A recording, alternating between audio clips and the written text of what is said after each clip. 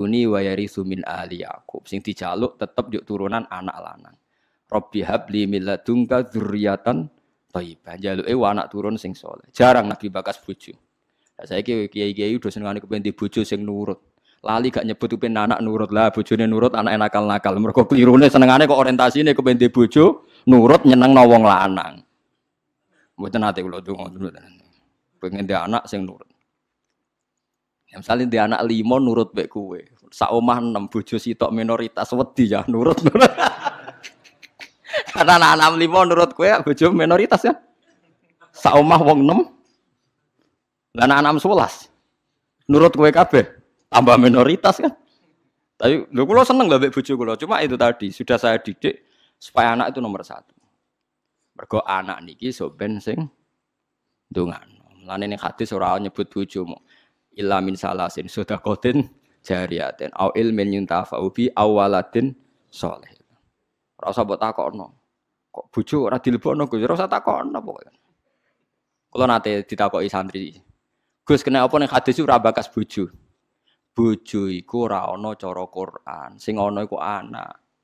Maksudnya piye Gus? Maksudnya kira goblok goblok tak terangno. Maksudnya ngene lho, misalnya kula mati, mati ti. Wis anak kula misalnya Hasan. Hasan kan ndongakno kula, berarti Hasan ndongakno wong tuane kan. Engko bojo kula mati, ya Hasan ndongakno ibuke kan. Paham nggih?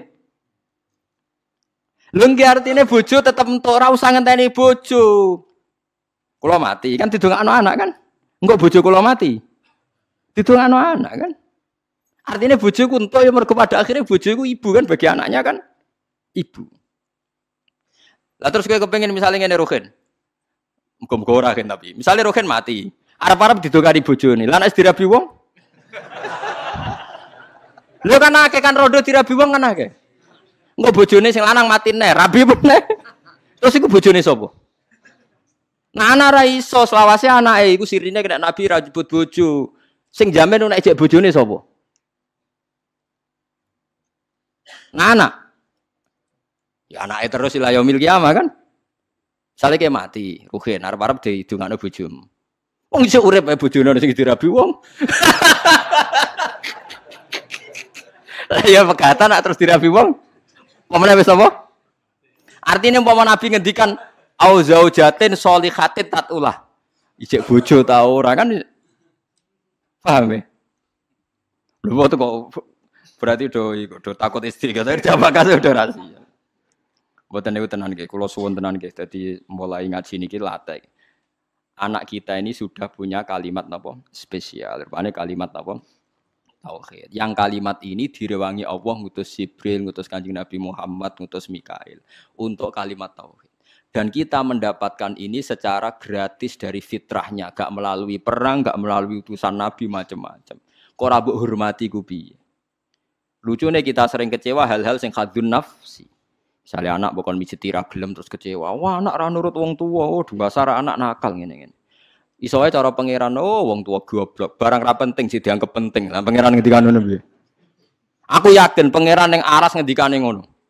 Oh, dasar orang tua bento. Barang ra penting sih dianggap penting. Ayo nak pangeran takokane ngono piye? Dan mungkin kan? Karena Allah kayak hak caci lek dolanan karwar rufi alqalamu an salasin. Wong telu ra kena dihisab. Cacilik nganti balik ayo jelas dijamin hukumnya pangeran. Orang kena disalahno. Pangeran sing pangerane ra iso nyalahno perkara ini dijamin. Cacilik ra salat pangeran nyalahno ta ora? Mboten kan? Cacilik utuh pangeran nyalahno ta ora? Mboten kan? Kowe trimo bapake. Aku yakin, ngomong tak omongi ngono dugu ya. Aku yakin pangeran yang aras ngendikane kowe wong tua goblok. Barang ra penting jadi anggap apa? Enggak. Wong sore Gus ra gelem wadus bocah kok kok. Cara pangeran ora penting. Akhirnya mulai rubah. Bareng rubah sing anakku tetep nakal, anak jiran bedok kaya ora ngono. Pokoke iki ajaran iki tanamno Tapi mulai do mikir ya, mulai populer aja luar mulai populer. Tapi kalau tidak tahu apa orang-orang itu ngenyek saya apa setuju tahu. Tapi semula jadi guyon. Jogeman nyentak anak cara Gus Mamal. Mari kualat. Tapi wong tua aja nyentak anak mari apa? Kualat. Jadi Gus Mamal maksudnya apa ngenyek apa setuju raro. Tapi mulai mikir, yang jelas kita mulai dipikir. Tapi insya Allah sesuai sudah setuju. Insya Allah lama-lama ngerti bombardir terus ditutur-tutur. Sesuai apa? Setuju. Nak kulo setuju dini kulo pun pun setuju dini. Ke sak roh kulo nggih hadise gini kok anak soleh sing ndongano. Para nabi ngene apa wa ja'alaha kalimatam baqiyatan apa fi aqibi. Mulane Nabi Isa iku ora iso afdal kaya Nabi Muhammad. Mergo boten gadah zuriyah. Mergo boten gadah napa?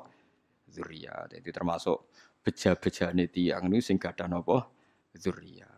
Nah, soal sampean mikir engko nang duriyae nakal-nakal. Wis ta. Selagi ini ana kalimat tauhid ki coba kas nakal teman-teman. Semoga-moga di sepuro pangeran. Piye wae wong sing lafal tauhid duwe alasan di sepuro pangeran. Senajan to tahu salah. Nah, kalau nggak percaya baca di kitab Tobaqatul Aulia yang dikarang Imam Syaroni. Beliau kalau nafsirkan ayat ini begini yang sering sampean pakai tahlil. Fa'lam annahu la ilaha illallah wastaghfir li dzambika walil mu'minina wa wal mu'minat. Iku dawuh Hasan Asadili nak nafsiri ngeten. Fa'lam annahu la ilaha illallah wastaghfir e bidzalikal kalimat. Setelah kamu tahu la ilaha illallah, mintalah ampun karena kalimat itu. Karena siapa pun yang lafatkan kalimat itu, mbok dosa kaya apa mungkin di sepuro. Karena berarti dia ini gak musyrik. Beda ambek wong dosa gak duwe kalimat iku, neraka selawase lawas. Mergo inna wa la yaghfiru ayyusyraka bi wa yaghfiru maduna dalik. Saya itu sampai nangis maca kitab. Jadi kalau pahalanya gitu oleh Hasan sana. Fa'lam annahu la ilaha illallah wastaghfir li dzambika e kal kalimah. Artinya siapa pun yang sudah kadung lafat la ilaha berhak di sepuro. Buktinya apa? Sing nang lafat no iku ora iso di sepuro kan karena dianggap syirik. Artinya kalimat itu wis ya wis napa? ya. Artinya anak-anak selagi ini tauhid kok salah-salah lah mungkin di sepuro. Mergo barokah kalimat tauhid. Mergo sing ra iso di sepuro sing duwe dosa syirik. Artinya sing lafal la ilaha ora napa? Syirik. Mulane dari Hasan Sadali, wastaghfir dzambika e bitil kal kalimat. Paham ya? Bitil kal apa? Kalimat. Karena tanpa kalimat itu dosa kita tidak bisa nopo diam. Karena kita berarti di dosa nopo syirik. Artinya kena bayang anak putumu sebenarnya nakal-nakal bapak bapaknya kayak bayi misalnya kan berarti lah jong pokoknya kue tak titipi kalimat nopo tauhid. Lah lewat titipan kalimat itu wes iso disebut. Lane Fata amal dari jari Hasan Sadali maka harus kamu angen-angen ayat ini. Karena sak paket kan fa'lam annahu la ilaha illallah wastaghfir li dzambik. Eh bitil kal kalimat. Mulane urutan tahlil hak jenis bener. Sebutnya urutan tahlil biasanya ngawiti tahlil. Fa'lam annahu la ilaha illallah. Boten segolek di sepuro bareng no niku sing pokoknya intinya niku bini yatit takorup mari tahlil video-video kulo itu tahlil pasuruan yo ora paham. Tahlil Yogyo yo ora paham rempeng ora paham tiap kiai kok tahlilnya video-video pembedarannya alim mbok piye yo ora roh. Lah kaya la ilaha illallah kalimatu haqqin alaiha nahya wa alaiha namut. Nak teng daerah kula wabiha. Nak teng mriki wa alaiha nak teng pati wabiha. Teng rembang wabiha wonten kiai sing genane wabiha wa alaiha pas ana sing biha alih. Nak logikane nggih biha, tapi itu mriki alih ya. Sebagai kalimat haqqin aliyah nahya wa namut wa alaiha nupas. Nah, itu mriki wonten sing wa biha nupas. Nah, kula mimpin dalil kayak wa biha genate wa alaiha genate. Wa alaiha wa biha genate lah. Yang-yang seneng tak mimpin dalil ora krana kula napa-napa, seneng cepete. Pun nggih mboten sama maca kata-kata penting ikhlas warga pun mantep ya kula. Mun maca ping 7 mawon itu wis Wah cocok Gus cepet. Wah, semua wong awam repot. Dilatih cepet, seneng cepet. Engko ya akhirnya ra eling pangeran. Dilatih suwi gremeng ya akhirnya ra eling pangeran angel. Atau wong awam wis kadung angel. Lah iya nak dilatih suwi kok gremeng. Akhirnya gremengi kalimat tauhid yo elek. Dilatih cepet ora seneng kalimat tauhid, seneng cepet. Eh, elek meneh kan. Oh, dasar wong ora iso bener. Wes. Likul li umatin niku tetep kedhe saben-saben umat jalna gawe sop ingsun mansakan enggo ibadah. Bi fathisin wa kasriha mansikan. syariatan tegese syariat hum kang utawa wong akeh nasiku wong sing lakoni ning syariat utawa ing mansak amiluna tegese nglakoni kabeh bihi bil mansak kabeh umat itu tak gawe tatanan sing beda sing dadi aturan aturane fala yunazi unaka aja geman tentang sapa ngakeh ka ing sira Yuradu den karsana bi iklan dawuh la yunazi unaka apa la tunazihum tegese aja nentang sira Muhammad hum ing kula ummah fil amri ing dalam urusan apa wae. Nak teng mriki amri dabi hati tegese urusan sesembelian. Isqalu nalikane ngucap sapa wong akeh ma qatallah. Mau te perkara kota lakang mateni sapa Allah Allah iku ahakul luwih berhak antak kulu ento mangan sira kabeh ing ma qatallah mimma dibanding perkara kotal tungkang mateni sira kabeh oleh kurang ajar. Dadi wong kafir ya cerdas-cerdas. Mat, nak wedhus mati sing mateni sapa mat? Allah. Nah ana wedhus mati langsung lho, sing mateni sapa mat? Allah agamamu aneh Pak sing dipateni Allah langsung haram sing dipateni lewat tangan manusia halal kudune sing mati langsung sing halal mergo sentuhan Tuhan langsung ngono ora kacer Eh, sesengan. Lah ya umpama logikane manusa iku kamu toleransi, logika itu kan masuk akal juga kan?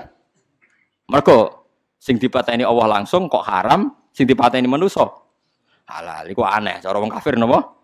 Aneh. Ya wis kacau. Mulane jare Kanjeng Nabi, Jari pangeran ngendikane pangeran ojo urusi mat cangkeme wong kafir ku.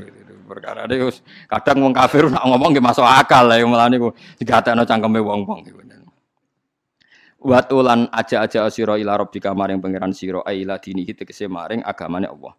Inna ka sak temne sira iku ala hudan ing dene ngatasé petunjuk dine tegese agama mustaqimin kan jejeg.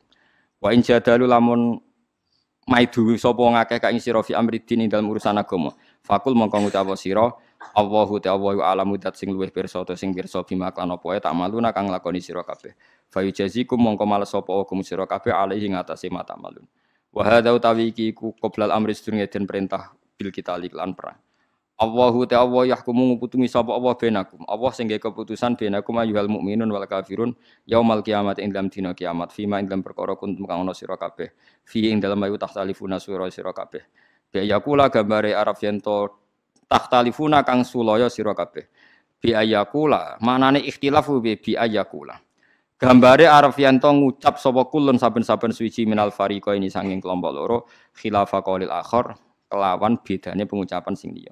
Pokoke wong khilaf ku penting asal beda.